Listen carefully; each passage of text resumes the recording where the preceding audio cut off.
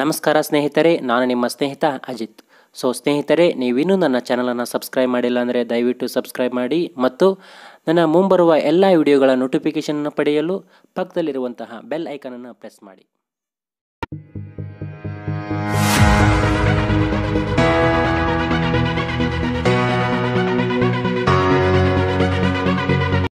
ಸ್ನೇಹಿತರೆ, ಇಂದಿನ ಈ ವಿಡಿಯೋದಲ್ಲಿ ನಾವು ಸಂಶೋಧನಾ ನೈಪುಣ್ಯತೆಯಲ್ಲಿ ಬರುವಂತಹ ಪ್ರಮುಖ ಘಟಕವಾಗಿರುವಂತಹ ಚಲಕಗಳು ಅಥವಾ ವೇರಿಯೇಬಲ್ಸ್ಗಳ ಬಗ್ಗೆ ತಿಳಿದುಕೊಳ್ಳೋಣ.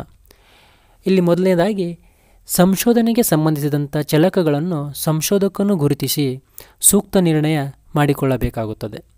ಸಂಶೋಧನಾ ಪ್ರಕ್ರಿಯೆಯು ಸರಾಗವಾಗಿ ಅನುಷ್ಠಾನವಾಗಬೇಕಾದರೆ ಈ ಹಂತವು ಹೆಚ್ಚು ಪೂರಕವಾಗಿರುತ್ತದೆ.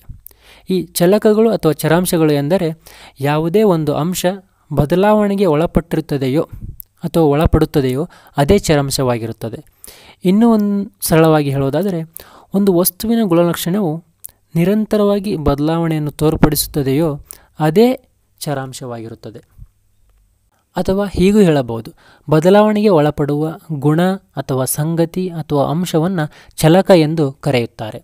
ಇಲ್ಲಿ ಉದಾಹರಣೆಗಾಗಿ, ವಯಸ್ಸು, ಲಿಂಗ ತೂಕ, ಎತ್ತರ, ಆದಾಯ, ದಣಿವು ಇಂತಹ ಮುಂದಾ, ಮುಂತಾದವುಗಳನ್ನು ನಾವು ಈ ಚಲಕಗಳನ್ನು, ಚಲಕಗಳಿಗೆ ಉದಾಹರಿಸಬಹುದಾಗಿದೆ.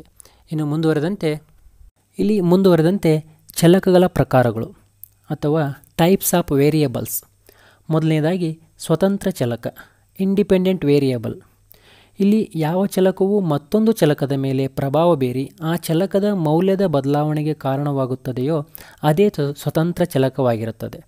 ಇನ್ನೂ ಸರಳವಾಗಿ ಹೇಳುವುದಾದರೆ, ಇನ್ನೊಂದು ಚಲಕದ ಮೇಲೆ ಪ್ರಭಾವ ಬೀರಿ, ಅದರ ಬದಲಾವಣೆಗೆ ಕಾರಣವಾದ ಚರಾಂಶವನ್ನು ಅಥವಾ ಚಲಕವನ್ನು ಸ್ವತಂತ್ರ ಚಲಕ ಎಂದು ಕರೆಯಬಹುದು.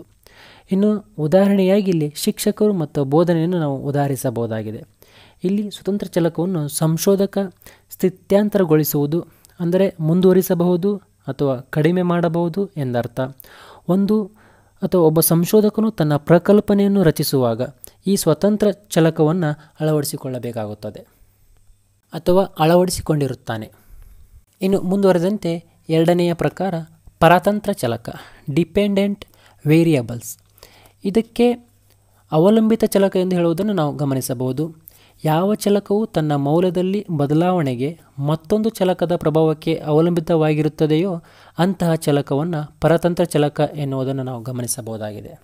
ಇನ್ನೂ ಸರಳವಾಗಿ ಹೇಳುವುದಾದರೆ ಬೇರೊಂದು ಚಲಕದ ಮೇಲೆ ಪ್ರಭಾವ ಬೀರಿ ಅದರ ಬದಲಾವಣೆಗೆ ಕಾರಣವಾದ ಚರಾಂಶವನ್ನು ಇದು ಪರತಂತ್ರ ಚಲಕ ಎನ್ನುವುದನ್ನು ನಾವು ಕಾಣಬಹುದಾಗಿದೆ. ಇಲ್ಲಿ ಉದಾಹರಣೆಗಾಗಿ ವಿದ್ಯಾರ್ಥಿ ಅಥವಾ ವಿದ್ಯಾರ್ಥಿಗಳು ಮತ್ತು ಕಲಿಕೆ ಇವುಗಳನ್ನು ಉದಾಹರಿಸಬಹುದಾಗಿದೆ. ಇಲ್ಲಿ ಮುಖ್ಯವಾಗಿ ಒಂದು ಅಧ್ಯಯನದಲ್ಲಿ ಪರತಂತ್ರ ಚಲಕಗಳು ಸ್ವತಂತ್ರ ಚಲಕದ ಮೇಲೆ ಅವಲಂಬಿತವಾಗಿರುತ್ತವೆ. ಈ ಸ್ವತಂತ್ರ ಚಲಕಗಳಲ್ಲಿ ಬದಲಾವಣೆ ಅಥವಾ ಏರಿಳಿತಗಳು ಕಂಡುಬಂದರೆ ಅದು ಪರತಂತ್ರ ಚಲಕಗಳನ್ನು ಹೊಂದಿರುತ್ತದೆ. ಸೊ ಇದಿಷ್ಟು ಪರತಂತ್ರ ಚಲಕವಾಗಿದೆ.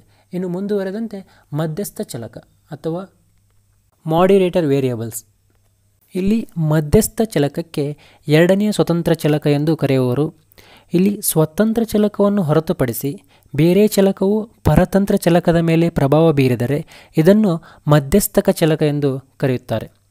ಇಲ್ಲಿ ಮುಖ್ಯವಾಗಿ ಸ್ವತಂತ್ರ ಮತ್ತು ಪರತಂತ್ರ ಚಲಕಗಳನ್ನು ಗುರುತಿಸಿ, ಆಧರಿಸಿ, ಸ್ವತಂತ್ರ ಚಲಕವಿಲ್ಲದೆ ಮತ್ತಿತರ ಚಲಕಗಳನ್ನು ಪ್ರಭಾವ ಅಥವಾ ಚಲಕಗಳ ಪ್ರಭಾವ ಬೀರುವ ಸಾಧ್ಯತೆ ಇದ್ದರೆ ಅದು ಅಥವಾ ಅವು ಎಷ್ಟರ ಮಟ್ಟಿಗೆ ಪರತಂತ್ರ ಚಲಕದ ಮೇಲೆ ಬದಲಾವಣೆಗೆ ಕಾರಣವಾಗಿವೆ ಅಥವಾ ಆಗಿದೆ ಎಂಬುದನ್ನು ತಿಳಿಯಲು ಅಳವಡಿಸುವ ಎರಡನೇ ಸ್ವತಂತ್ರ ಚಲಕವೇ ಈ ಮಧ್ಯಸ್ಥ ಚಲಕವಾಗಿರುತ್ತದೆ. ಇಲ್ಲಿ ಮುಖ್ಯವಾಗಿ ಸಂಶೋಧನೆ ನಡೆಸುವುದಕ್ಕೆ ಮೊದಲೇ ಮಧ್ಯಸ್ಥಕ ಚಲಕವನ್ನು ಗುರುತಿಸಲಾಗುತ್ತದೆ.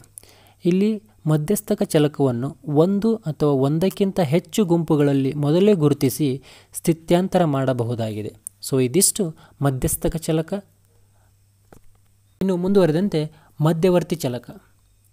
ಈ ಮಧ್ಯವರ್ತಿ ಚಲಕಕ್ಕೆ ಅಳೆಯಲಾಗದ ಚಲಕ ಎಂದು ಕರೆಯುವರು. ಕೇವಲ ವೀಕ್ಷಣೆಯಿಂದ ಮಾತ್ರ ಗುರುತಿಸಬಹುದಾದ ಹಾಗೂ ಅಳತೆ ಮಾಡಲು ಸಾಧ್ಯವಾಗದ ಚಲಕಕ್ಕೆ ಮಧ್ಯವರ್ತಿ ಚಲಕ ಎಂದು ಕರೆಯುವರು. ಇಲ್ಲಿ ಮುಖ್ಯವಾಗಿ ಯಾವ ಚಲಕವು ಪರತಂತ್ರ ಚಲಕದ ಮೇಲೆ ಪ್ರಭಾವ ಬೀರುವ ಸಾಧ್ಯತೆ ಇದ್ದು, ಸಂಶೋಧಕನಿಗೆ ಮೊದಲೇ ಗುರುತಿಸಲು ಸಾಧ್ಯವಾಗದೆ ಮತ್ತು ಅಳೆಯಲು ಸಾಧ್ಯವಾಗದಿದ್ದರೆ ಅಂತಹ ಚಲಕವೇ ಮಧ್ಯವರ್ತಿ ಚಲಕವಾಗಿರುತ್ತದೆ. ಈ ಮಧ್ಯವರ್ತಿ ಚಲಕವು ಸಂಶೋಧಕ ಪ್ರಯೋಗ ಪ್ರಯೋಗಕ್ಕೆ ಮೊದಲೇ ಗುರುತಿಸಲು ಅಥವಾ ಅಳೆಯಲು ಸಾಧ್ಯವಾಗುವುದಿಲ್ಲ. ಇಲ್ಲಿ ಮುಖ್ಯವಾಗಿ ಮಧ್ಯವರ್ತಿ ಚಲಕಗಳು ಪರಾತಂತ್ರ ಚಲಕದ ಮೇಲೆ ಬೀರುವ ಪ್ರಭಾವವನ್ನು ಪ್ರಯೋಗದ ನಂತರವೂ ನಿಖರವಾಗಿ ಅಳೆಯಲು ಸಾಧ್ಯವಾಗುವುದಿಲ್ಲ, ಇಲ್ಲಿ ಸಂಶೋಧಕನಿಗೆ. ಆದ್ದರಿಂದ ಮಧ್ಯವರ್ತಿ ಚಲಕಗಳ ಪ್ರಭಾವವನ್ನು ಸಂಶೋಧಕ ಭಾವಿಸಿ ಒಪ್ಪಿಕೊಳ್ಳಬೇಕಾಗುತ್ತದೆ. ಸೊ, ಇದಿಷ್ಟು ಮಧ್ಯವರ್ತಿ ಚಲಕದ ವಿವರವಾಗಿದೆ. ಇನ್ನು ಮುಂದುವರೆದಂತೆ ನಿಯಂತ್ರಕ ಚಲಕ.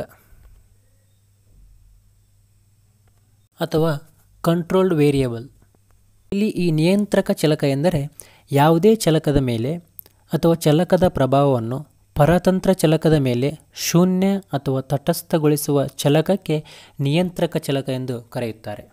ಇಲ್ಲಿ ಈ ನಿಯಂತ್ರಕ ಚಲಕಗಳು ಸ್ವತಂತ್ರವಾಗಿದ್ದು, ಸ್ವತಂತ್ರ ಮತ್ತು ಪರತಂತ್ರ ಚಲಕಗಳ ನಡುವಿನ ಸಂಬಂಧದ ಮೇಲೆ ಪ್ರಭಾವ ಬೀರುತ್ತವೆ. ಇವು ನಿಯಂತ್ರಣವು ಯಾವುದೇ ಪ್ರಯೋಗದ ಸಂಶೋಧನಾ ತೀರ್ಮಾನಗಳಿಗೆ ಹೆಚ್ಚಿನ ಮಟ್ಟದ ಸಿಂಧುತ್ವ ನೀಡುತ್ತವೆ. ಸೊ ಇದಿಷ್ಟು ಈ ಚಲಕಗಳ ಪ್ರಕಾರವಾಗಿದೆ. ಸೊ ಸ್ನೇಹಿತರೆ, ಈ ವಿಡಿಯೋ ನಿಮಗೆ ಇಷ್ಟವಾಗಿದ್ದರೆ ಶೇರ್ ಮಾಡಿ ಲೈಕ್ ಮಾಡಿ ಕಮೆಂಟ್ ಮಾಡಿ ಮತ್ತು ತಪ್ಪದೆ ಸಬ್ಸ್ಕ್ರೈಬ್ ಮಾಡಿ. Thank you